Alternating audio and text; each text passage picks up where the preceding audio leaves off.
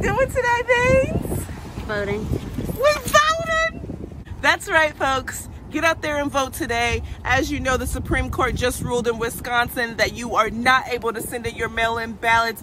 So y'all got to get them in today, guys. Go ahead and get your voting.